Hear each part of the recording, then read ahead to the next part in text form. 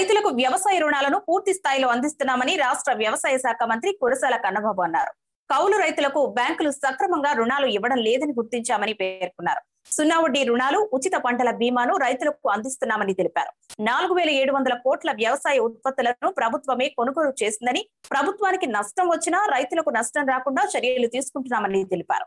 రాష్ట్రంలో రెండు వేల తొమ్మిది వందల కోట్ల రూపాయలతో ఫుడ్ ప్రాసెసింగ్ పార్కులను ఏర్పాటు చేస్తున్నామని మంత్రి వెల్లడించారు.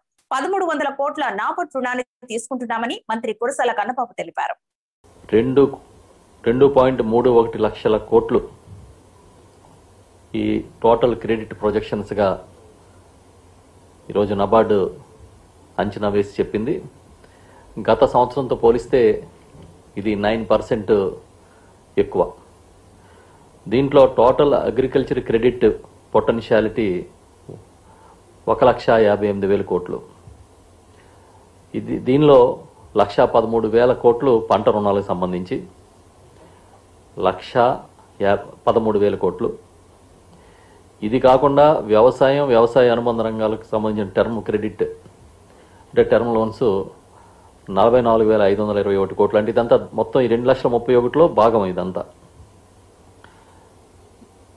ఈ ఒక లక్ష యాభై ఎనిమిది వేల కోట్లు ప్రొజెక్ట్ చేసింది ఆల్ ఇండియా టార్గెట్లో చూసుకున్నప్పుడు ఆ మొత్తం ఇండియాలో టార్గెట్ పదహారు పాయింట్ ఐదు లక్షల కోట్లు అయితే దాంట్లో మనం ఈ రెండు లక్షల ముప్పై ఒకటి వేల కోట్లు మనం ప్రతిపాదించాం. ఈ అగ్రికల్చర్కి సంబంధించిన గ్రౌండ్ లెవెల్ క్రెడిట్ అనేది ఒక క్లియర్ ఇండికేటర్గా ఉండాలని చెప్పి ఈ మధ్యకాలంలో కేంద్ర ఆర్థిక శాఖ మంత్రి గారు కూడా చెప్పడం జరిగింది. ఆ ప్రకారం ఈ నైన్ పర్సెంట్ హైక్తో మన ప్రొజెక్షన్స్ అన్నీ సిద్ధం చేశాము.